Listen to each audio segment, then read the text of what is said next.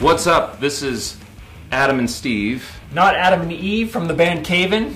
and you're watching Premier Guitar with the Big Five. My favorite guitar would probably be my uh, Gibson SG that I got when I was in high school. I got this for $400 out of the want ads. I met a gentleman in the 99 restaurant parking lot and gave him $400 cash. Um, this is before the internet and you know the, before the days of just driving your mom's car to meet a stranger in the 99 restaurant parking lot. I had this. Um, it was my first kind of like oh, I'm, I'm going to do this. I'm getting a real guitar to be in a real band. So this is this was it. I knew I was in once I got this. I played it for about 20 years in Cave In. It was in our band fire. If you look close, you can see that it was on fire at a certain time. That's all black from being on fire. I saw it being pulled out of our van while it was engulfed in flames, and it was shot with a fire hose. I saw this thing get shot with a fire hose once. um, Meridian Guitar brought it back to life. Meridian, rest in peace. Um, but I love this is my favorite guitar. My, you know, if I had to go back into my house that's on fire, this is the one that I'm going to grab first. It's very sentimental to me. Um, the finish has been sweated off. There's so much history of Caven in this guitar, history of my music career, my life in music, uh, my life in this town, Methuen, Massachusetts, growing up and leaving Methuen. It's all on this guitar. You got that thing rigged with some an EMG I as well. did. Uh, this EMG. Juicy. right- EMG because I love Metallica back in the day. Jay Frechette, the original singer of Cave In, actually installed it with this. Ja- this is from a Jackson right here, which shouldn't be on a Gibson um, because we didn't know what we were doing. And he drilled the hole in my brand in my SG in high school to put this EMG in here. I believe that this is the early '80s. It says VSG on there, VSG, which I know they have the Paul and the SG. I, I forget what they call them. Um, oh God, Firebrand. Does that make sense? Firebrand. Well, it would certainly make sense yeah, considering the situation. But apparently, like VSG and the Paul were these models they made where they're all kind of these wood grain like this in the early '80s. So I believe that's what this was. And it actually had a T pickup, like a a black and white kind of pickup, which I wish was still in there. But I, you know, I'm, I'm, I was a towny metal kid. They wanted to put an EMG in it, but it had a T pickup that it looked really good when I first got it. it did. This pickup right here is a wooden pick guard, which is kind of like that's definitely a custom job by the gentleman that I bought it from. I've never seen another SG with a wooden pick guard like that. It's also been broken in half. Um, you can see the neck job. You can't really see because there's points here, but again, Meridian. Steve was actually playing it at the Cave In Show, and I threw him off the stage, and he fell on top of it. And I remember, I remember once he, I remember throwing him off the stage. It was like you know, stupid kid stuff, and he threw piece by piece on stage first, and then he got back up. It was like headstock, body. I'm like, ah. Okay,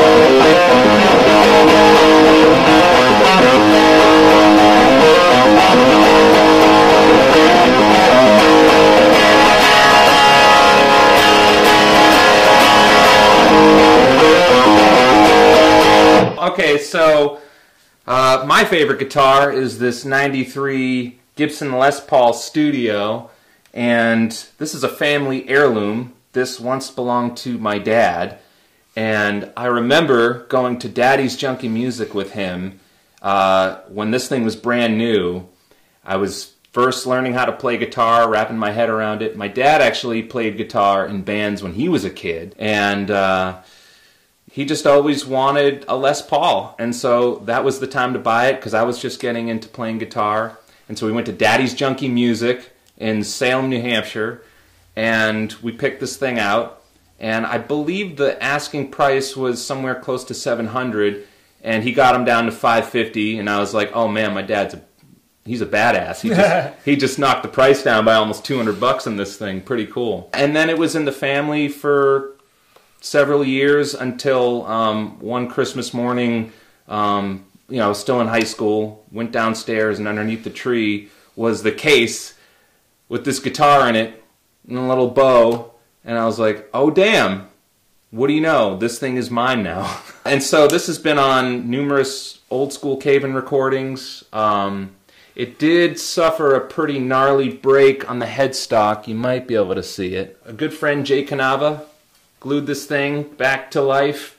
Plays better than ever. And um, recently I busted it out for the uh, Cave In Until Your Heart Stops shows that we did, um, the Decibel Festival, and playing some of that material leading up to the Decibel Fest um, late last year. Uh, I don't like to really bring it on the road for obvious reasons. I like to keep it safe as you know safe at home at this point. But uh, yeah, it seemed like the right thing to do for those shows, and that's right. This is my this is my baby. No real modifications. Um, actually, maybe the tuners are new. Um, yeah, I can actually see where the old tuners would have been. Other than that, I think it might be all the original pieces. I mean, maybe a new bridge, but it's kind of hard to tell.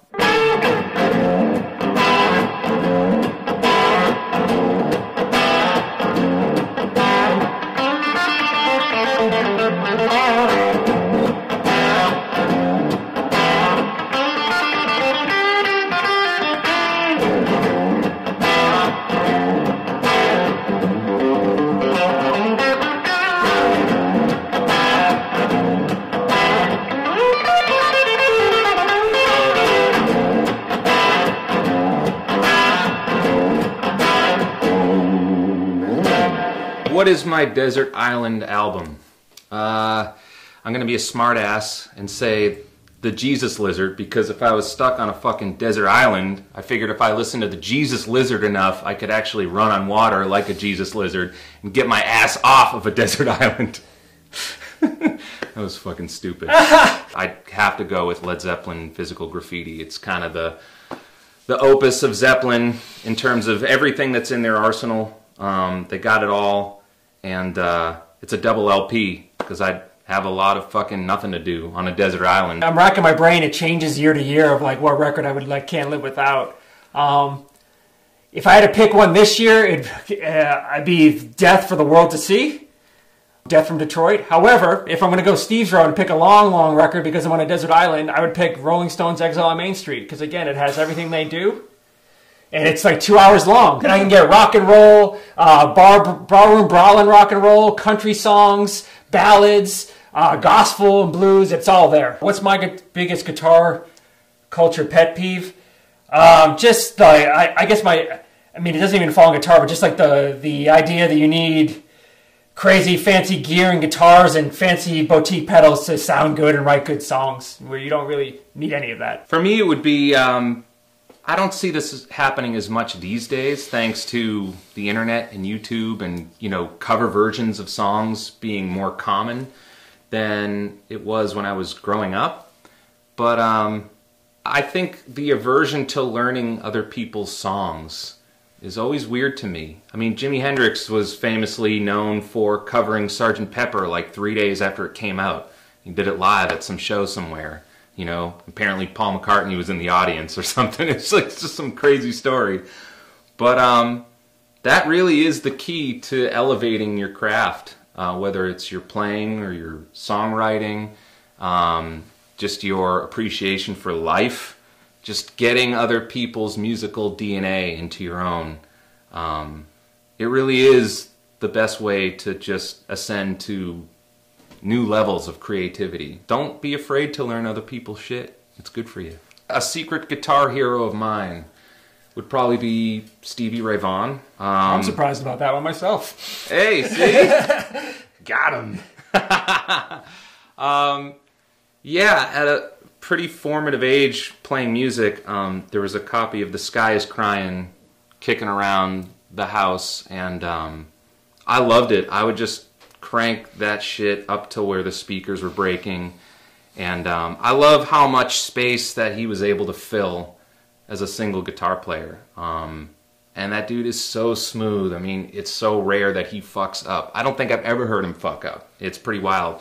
There's a great video that you can find where uh, he's on some late night show and he breaks the string in the middle of a performance and his tech comes running out, switches the guitar, and the whole thing is done so seamlessly. You're just like, this dude is a badass. Uh, I'm gonna go with John Frusciante. I can't say that I'm a huge Chili Peppers fan, but I'm a huge John Frusciante fan. I heard his guitar playing early on as a kid. Obviously, Under the Bridge was on every radio, every every radio station growing up in Methuen, and I just love the um, like that post Hendrix guitar style. Um, it's just I've always been attracted to it.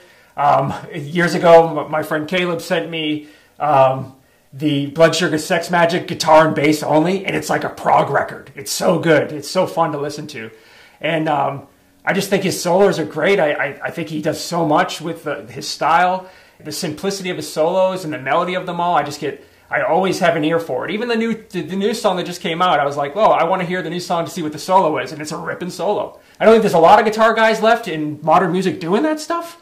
So it's just good to hear A Frusciante back in the band and just doing guitar god stuff still. And um, you know, I love all the solo records. There's stuff on there that sounds like Funkadelic or uh, Eddie Hazel. Um, I think he's really well rounded. It's almost like a you know punk rock Eddie Hazel, punk rock Jimi Hendrix. Um, and Minutemen is mixed in there, and almost like Frank Zappa too. I, I just think he has a really cool West Coast vibe that is his own, and it's very inspiring to me. What is my secret weapon? I don't know if it's much of a secret anymore, but Cave In is known for using the Boss PS3 pitch shifter. They don't make these anymore. Boss, what is your fucking problem? This pedal was a great discovery. Um, I think it came at a time when the band was um, sort of looking to reinvent itself anyways, right around the time of like Creative Eclipses and Jupiter. And this pedal just kind of did something that it basically extracted a sound that I've heard in my head for a long time. Um, so thank you, PS3. As far as Cave In's use of the PS3, um, we use it like hit sauce. Basically, like, okay, here's the chorus. Boom, there it is. Now that shit is singing, and there's like several octaves sort of swirling around your head. It's like a sonic bubble bath. It's like a sparkling melody. Wicked sparkling. My secret weapon, uh, you know, I, it's funny. I'm sick of my secret weapon because I've used it for so so many years at this point. However, Adam McGrath's secret weapon is a MXR phaser set to zero with a tremolo afterwards. So your tremolo goes. It always sounds like something's moving because it's a slow, slow wave happening at all times. I'm a big reggae fan. I picked that up from Lee Scratch Perry. Lee Scratch Perry puts a slow phase on all his drums. He puts it on vocals sometimes. He puts it on guitar, and it's just a really interesting effect to make it sound like there's a lot, there's movement happening, but it's happening very slow.